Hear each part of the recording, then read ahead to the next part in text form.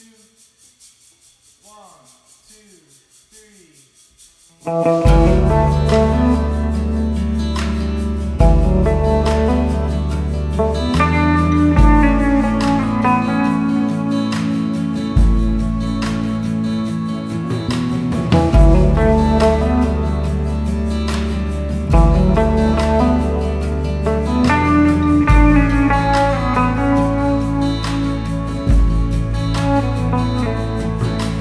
Ashley smoking a bomb. It's a Tuesday night for rock and roll.